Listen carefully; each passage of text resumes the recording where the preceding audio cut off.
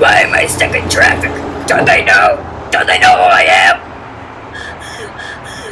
Damn it, that's what I am.